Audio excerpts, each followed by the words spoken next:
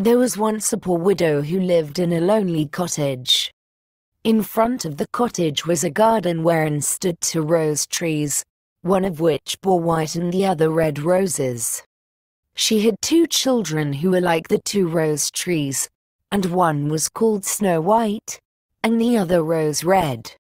They were as good and happy, as busy and cheerful as ever two children in the world were, only Snow White was more quiet and gentle than Rose Red.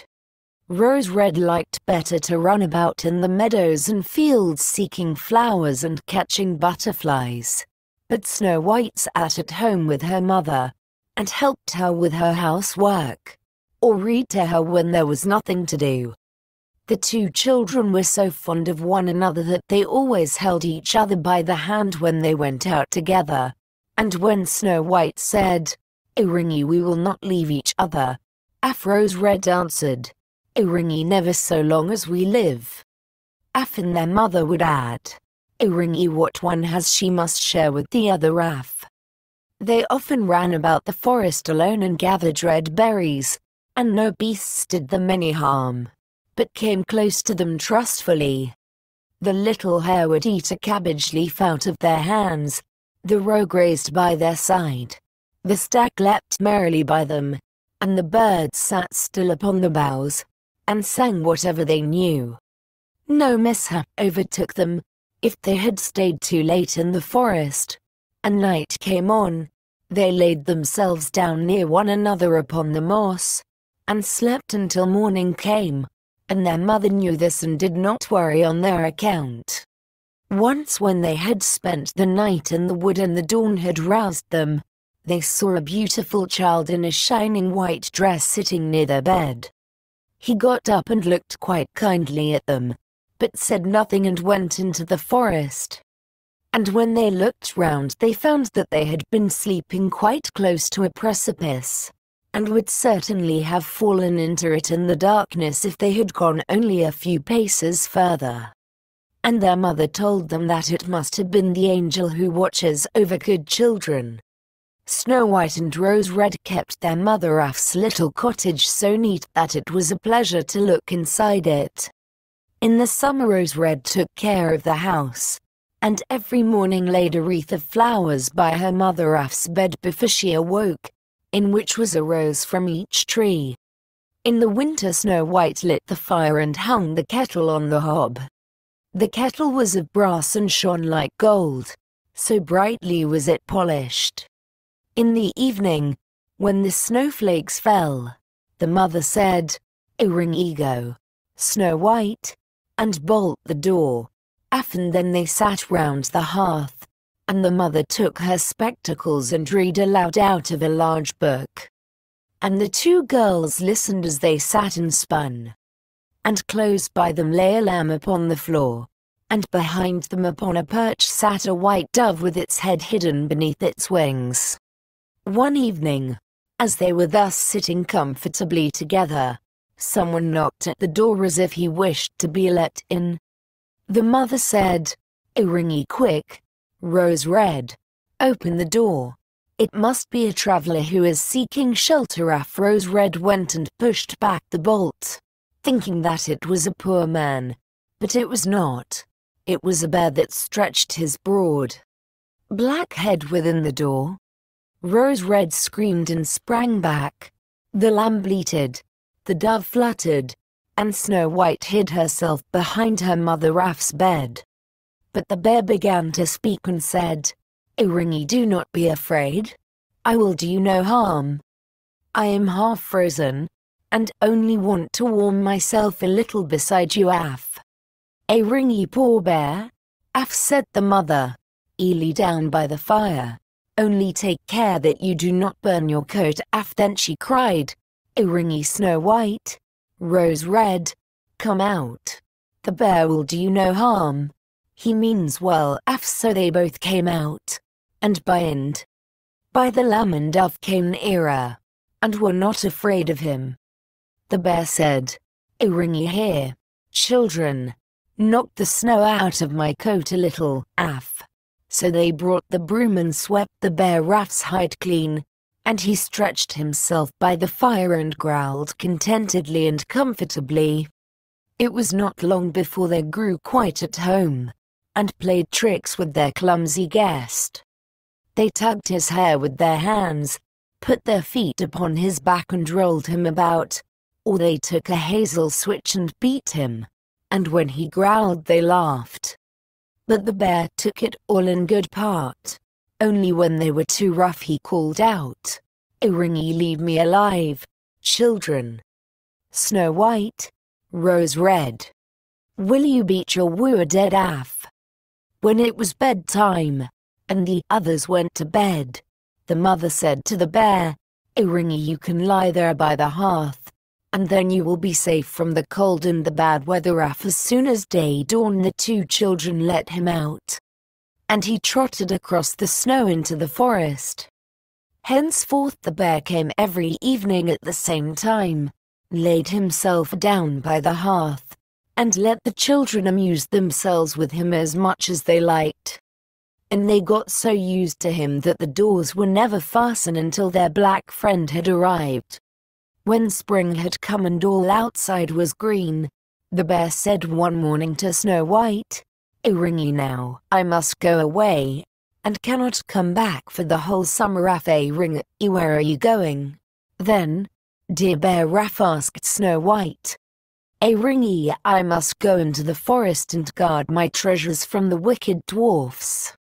In the winter, when the earth is frozen hard, they are obliged to stay below and cannot work their way through. But now, when the sun has thawed and warmed the earth, they break through it and come out to pry and steal. And what once gets into their hands and in their caves does not easily see daylight again. Af. Snow White was quite sorry at his departure, and as she unbolted the door for him, and the bear was hurrying out, he caught against the bolt and a piece of his hairy coat was torn off and it seemed to snow. White as if she had seen gold shining through it.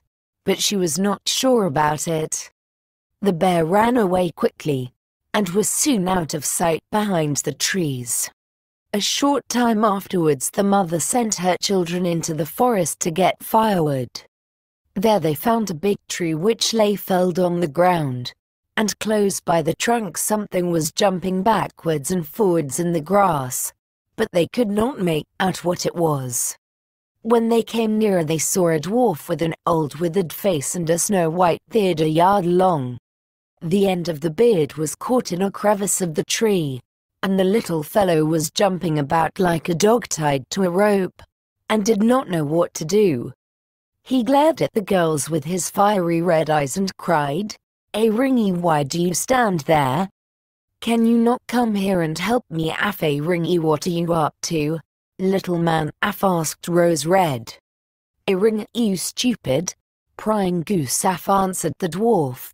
Iringi I was going to split the tree to get a little wood for cooking. The little bit of food that we people get is immediately burnt up with heavy logs. We do not swallow so much as you coarse, greedy folk. I had just driven the wedge safely in, and everything was going as I wished. But the cursed wedge was too smooth and suddenly sprang out, and the tree closed so quickly that I could not pull out my beautiful white beard. So now it is tight and I cannot get away, and the silly, sleek, milk-faced things laugh. Ugh how odious you are The children tried very hard, but they could not pull the beard out. It was caught too fast. A ring, e, I will run and fetch someone. Af said Rose Red. A ringy you senseless Gusaf snarled the dwarf. Ewe should you fetch someone? You are already too too many for me. Can you not think of something better Af a ringy don Af be impatient? Af said Snow White. A ring, I will help you. Often she pulled her scissors out of her pocket and cut off the end of the beard. As soon as the dwarf felt himself free he laid hold of a bag which lay amongst the roots of the tree, and which was full of gold, and lifted it up, grumbling to himself, ring me uncouth people, to cut off a piece of my fine beard. Bad luck to you, Aff, and then he swung the bag upon his back, and went off without even once looking at the children. Some time afterwards Snow White and Rose Red went to catch a dish of fish. As they came near the brook they saw something like a large grasshopper jumping towards the water, as if it were going to leap in. They ran to it and found it was the dwarf. A ringy where are you going Aff said Rose Red. Yeah I uh, surely don't to want to go into the water Aff a ring yeah I am not such a fool Aff cried the dwarf. Eden after you see that the accursed fish wants to pull me in after the little man had been sitting there fishing. And unluckily the wind had tangled up his beard with the fishing line. A moment later a big fish made a bite and the feeble creature had not strength to pull it out. The fish kept the upper hand and pulled the dwarf towards him. He held on to all the reeds and rushes, but it was of little good, for he was forced to follow the movements of the fish, and was in urgent danger of being dragged into the water. The girls came just in time, they held him fast and tried to free his beard from the line, but all in vain, beard and line were entangled fast together. There was nothing to do but to bring out the scissors and cut the beard, whereby a small part of it was lost. When the dwarf saw that he screamed out, Iringi is that civil, you toadstool, to disfigure a man af's face. Was it not enough to clip off the end of my beard? Now you have cut off the best part of it. I cannot let myself be seen by my people. I wish you had been made to run the soles off your shoes. Af then he took out a sack of pearls which lay in the rushes, and without another word he dragged it away and disappeared behind a stone. It happened that soon afterwards the mother sent the two children to the town to buy needles and thread, and laces and ribbons. The road led them across a heath upon which huge pieces of rock lay strewn about. There they noticed a large bird hovering in the air, flying slowly round and round above them. It sank lower and lower, and at last settled near a rock not far away.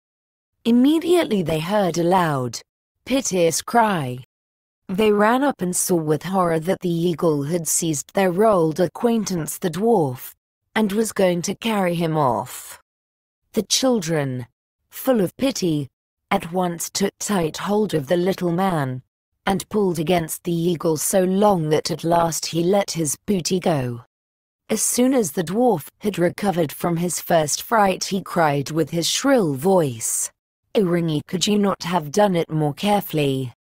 You dragged at my brown coat so that it is all torn and full of holes, you clumsy creatures af then he took up a sack full of precious stones, and slipped away again under the rock into his hole. The girls, who by this time were used to his ingratitude, went on their way and did their business in town. As they crossed the heath again on their way home they surprised the dwarf, who had emptied out his bag of precious stones in a clean spot and had not thought that anyone would come there so late. The evening sun shone upon the brilliant stones. They glittered and sparkled with all colors so beautifully that the children stood still and stared at them. A ringy why do you stand gaping there Raff cried the dwarf, and his ashen grey face became copper red with rage. He was still cursing when a loud growling was heard, and a black bear came trotting towards them out of the forest. The dwarf sprang up in a fright, but he could not reach his cave, for the bear was already close. Then in the dread of his heart he cried, Iringi dear Mr. Bear, spare me. I will give you all my treasures. Look, the beautiful jewels lying there. Grant me my life, what do you want with such a slender little fellow as I you would not feel me between your teeth? Come, take these two wicked girls. They are tender morsels for you, fat as young quails. For mercy Aff's sake eat them Aff the bear took no heed of his words. but gave the wicked creature a single blow with his paw. And he did not move again. The girls had run away, but the bear called to them, A ringy Snow White and Rose Red, do not be afraid. Wait, I will come with you Af then they recognized his voice and waited, and when he came up to them suddenly his bear skin fell off. And he stood there a handsome man, clothed all in gold. A ring, e, I am a king Af's son. Af he said. E and I was bewitched by that wicked dwarf, who had stolen my treasures. I have had to run about the forest as a savage bear until I was freed by his death. Now he has got his well-deserved punishment. Snow White was married to him, and Rose Red to his brother, and they divided between them the great treasure which the dwarf had gathered together in his cave. The old mother lived peacefully and happily with her children for many years. She took the two rose trees with her, and they stood before her window, and every year bore the most beautiful roses, white and red.